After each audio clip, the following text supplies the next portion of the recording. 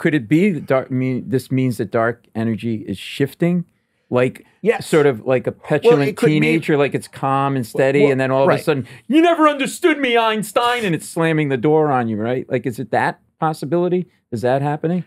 Yes, I would say that we may be discovering that what we call dark energy is a general phenomenon that happens all the time in the history of the universe. So let me tell you this.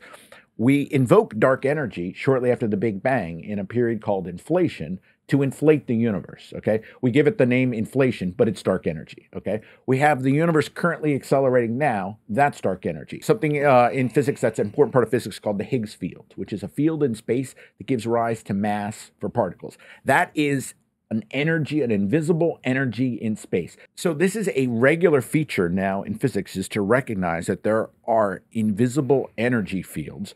And in Einstein's theory of gravity, an, an invisible energy v- field plus Einstein's theory of gravity automatically has this consequence of giving a push to the universe. And so I would say at this point, we are sort of watching the universe to sort of try to learn when episodes like this may occur.